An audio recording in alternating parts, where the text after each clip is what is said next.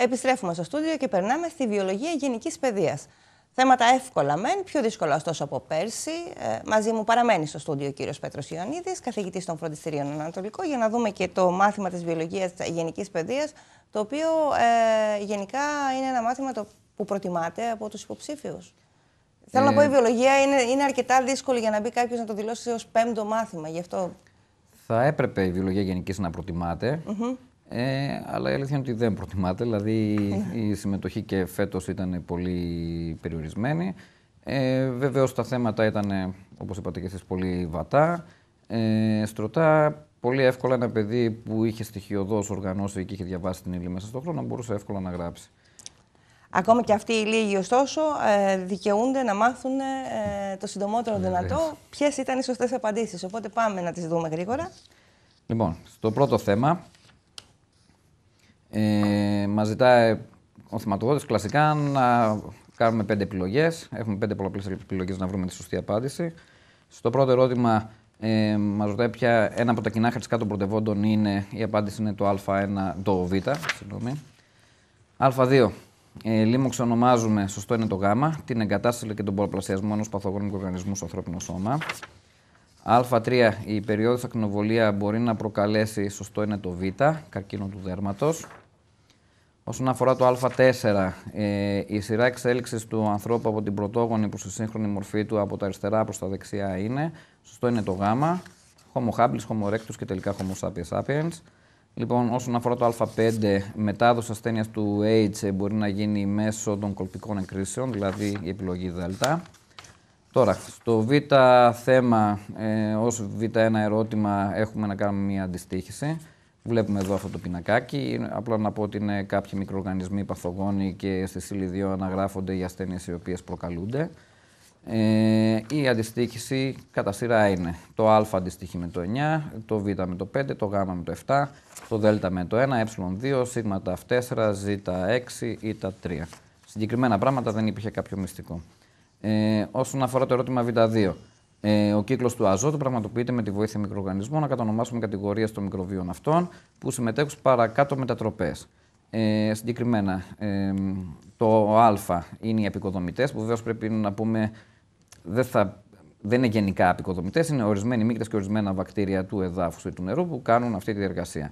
Ε, όσον αφορά τη δεύτερη διεργασία, το μοριακό άζωτο να μετατρέψει σε νητρικά ιόντα, πραγματοποιείται από τα αζωτοδεσμευτικά βακτήρια. Όσον αφορά τη διεργασία Γ, ε, πραγματοποιείται από τα νητροποιητικά βακτήρια και τέλος από τα απονητροποιητικά. Τη διεργασία Δ. Τώρα για το ερώτημα Β3. Τι ονομάστηκε από τον Κάριο Ροδαλβίνο φυσική επιλογή, να αναφέρουμε τη μικρότερη μονάδα στην οποία δράει φυσική επιλογή. Ε, η απάντηση βρίσκεται σε σελίδα 126 του σχολικού βιβλίου. Ε, ξεκινάει με την έκφραση διαδικασία με την οποία και καταλήγει ε, με επιθυμητά χαρακτηριστικά. Ε, Επίσης, όσον αφορά την μικρότερη δυνατή μονάδα η οποία εξελίσσεται, η απάντηση βρίσκεται σε σελίδα 129 του σχολικού βιβλίου. Ε, ένα από τα σημεία μέχρι εκεί που λέει μπορεί να εξελιχθεί. Συγκεκριμένες ερωτήσεις και πάλι ε, και ήταν και σως θεματάκια να πω. Ε, τώρα, όσον αφορά το Β4, τι απαιτείται για να εμφανιστούν τα κλινικά συμπτώματα της αλλεργίας, πότε παράγεται σταμίνη και τι προκαλεί στον άνθρωπο; Πάλι από το σχολικό βιβλίο, σελίδα 41, για την εμφάνιση των κλινικών συμπτωμάτων, τελίτσες μετά από κάποιο χρονικό διάστημα σε αυτό ε, και το κείμενο το οποίο αναγράφω στην, ε, κατά το στάδιο της ευαισθητοποίησης μέχρι αλλεργιογόνο. Τώρα, όσον αφορά το τρίτο θέμα, θέμα Γ. Ε, μετά από συνεχείς ψεκασμούς σε ένα οικοσύστημα με μεγάλες ποσότητες εντομοκτώνου DDT, έγιναν μετρήσεις από τις οποίες κάποιες αποτυπώνονται στον πίνακα 1. Βλέπουμε αυτές τις μετρήσεις. Ε, έχουμε παραγωγούς καταναλωτές πρώτης τάξης, καταναλωτές δεύτερης τάξης. Ε, σε κάθε στήλη μετά έχουμε τα δεδομένα για βιομάζα, για ποσότητα του DDT και για συγκέντρωση αυτής τη χημικής ουσίας. Αφού μεταφέρουμε τον πίνακα στο τετράδιό μας, να συμπληρώσουμε όλα τα κενά. Ε, η συμπλήρωση που βλέπετε είναι εδώ. Ε, στη στήλη της βιομάζας ε, τα κιλά ε, μειώνονται ξεκινώντας από τους παραγωγούς που είναι 10 στην 6η, μετά γίνεται 10 στην 5η, 10 στην 4η. Η ποσότητα του DDT βεβαίως παραμένει σταθερή, ε, ενώ η συγκέντρωση του DDT ε, αντιστρόφως από την βιομάζα αυξάνεται από ένα τροφικό επίπεδο στο επόμενο. Αρχική συγκέντρωση κάνοντας τη διαίρεση βγαίνει 1, μετά θα γίνει στους καταναλωτές πρώτης τάξης 10 και στους καταναλωτές δεύτερης τάξης θα γίνει 100. Ε, Λέγοντας διαίρεση, εννοώ ότι ένας υποψήφιος πρέπει να διαιρέσει την ποσότητα του DDT που αναγράφεται στη στήλη 2 με την βιομάζα ε, των παραγωγών λόγου χάρη που αναγράφεται στη στήλη 1. Τώρα, Πώς ονομάζεται το φαινόμενο ρήπανσης που προκαλεί τον DDT, ε, ονομάζεται βιοσυσσόρευση, στη σελίδα 110 του σχολικού βιβλίου. Να δώσουμε τον ορισμό αυτού του φαινομένου. Ε, στην ε, ίδια σελίδα βρίσκεται. Λοιπόν, και ε, για ποιους λόγους το DDT προκαλεί αυτό το φαινόμενο; Στην ίδια σελίδα του σχολικού βιβλίου. Δηλαδή, σελίδε 109 και 110 βρίσκονται όλες οι απαντήσεις. Τώρα, όσον αφορά το ερώτημα Γ3. Σε ένα οικοσύστημα σε γενικές γραμμές, η ίδια πτωτική τάση που παρουσιάζει τι τροφικές πυραμίδες ενέργειας εμφανίζεται στις τροφικές πυραμίδες βιομάζας. Ποιο είναι το ποσοστό της απώλειας της ενέργειας από το ένα τροφικό επίπεδο στο επόμενο; Σε τι οφείλεται αυτό το φαινόμενο; Η απάντηση βρίσκεται σε σελίδα 77 του σχολικού βιβλίου. Ε, αναγράφουμε την παραγραφούλα που ξεκινάει σε γενικές γραμμές μέχρι και που λέει μειώνει τη βιομάζα τους. Ε, και επίσης ότι την παραγραφούλα που λέει αυτό οφείλεται στο ότι τελίτσες τα οποία απεικοδομούνται. Να συνεχίσουμε και στο θέμα Δέλτα να αναφέρετε ονομαστικά τα πρωτογενή λεμφικά όργανα και τα δευτερογενή λεμφικά όργανα του ανοσοποιητικού συστήματος του ανθρώπου. Ε, το πρώτο σκέλος απάντηση, δηλαδή τα πρωτογενή λεμφικά όργανα, είναι ο μυελός ονοστών ή κάποιος μπορεί να πει και ερυθρός μυελός ονοστών, δεν υπάρχει κάποιο πρόβλημα. Ε, και επίσης και ο θύμος αδένας. Δευτερογενή λεμφικά όργανα είναι κατά σειρά λεμφαδένε, πλήνας, αμυγδαλές και ο λεμφικός ιστό κατά μήκος του γαστεντερικού σωλήνα. Τώρα, στο επόμενο ερώτημα. Ένας άνθρωπος μολύνεται από έναν παθογόνο μικροοργανισμό. Ε, στην εικόνα 1 αναπαρίσταται συνοπτικά τα στάδια της πρωτογενής ονοσοφιλική απόκρισης. Βλέπουμε αυτή την εικόνα. Και στο ΔΕΛΤΑ2 μας ρωτάνε σε ποια κύτταρα του σωπητικού στήματος αντιστοιχούν οι αριθμοί 1 έως 7 και σε τι αντιστοιχούν τα μόρια Α στην εικόνα 1. Λοιπόν, έχουμε κατά σειρά. Το νούμερο 1 είναι τα μακροφάγα. Το νούμερο 2 είναι τα βοηθητικά τα φλεμφοκύτταρα. Το νούμερο 3 είναι τα κυταροτοξικά τα φλεμφοκύτταρα. 4 β λεμφοκύτταρα, 5 πλασματοκύτταρα, 6 κατασταλτικά τα λεμφοκύτταρα και το 7 είναι τα αντισώματα ή ανοσοσφαιρίνες. Τώρα, το ΔΕΛΤΑ3. Σε ποια κατηγορία ανήκει ο παθογόνος μικροοργανισμός που προκάλεσε αυτή την ασοβουλική απόκτηση, να αιτιολογήσουμε. Ο μικροοργανισμός συγκεκριμένα είναι ένας ιός και αυτό γιατί προκάλεσε την ενεργοποίηση ε, των, των κυταροτοξικών ταφ λομφοκυτάρων. Η απάντηση βεβαίως, έτσι όπως την είπα, βρίσκεται και στη σελίδα 38 του σχολικού βιβλίου, εκεί που περιγράφει για την κυταρική ανοσία. Τώρα, ε, στο Δέλτα 4 έχουμε την εικόνα 2, που είναι μια εικόνα που υπάρχει και στο σχολικό βιβλίο ακριβώς. Ε, παρίσταται σε μεγέθυνση ένα μόριο α τη εικόνας 1, δηλαδή μια νοσοσφαιρίνη αλλιώς ένα αντίσωμα. Να ονομάσουμε την περιοχή Ζ και την περιοχή Ι.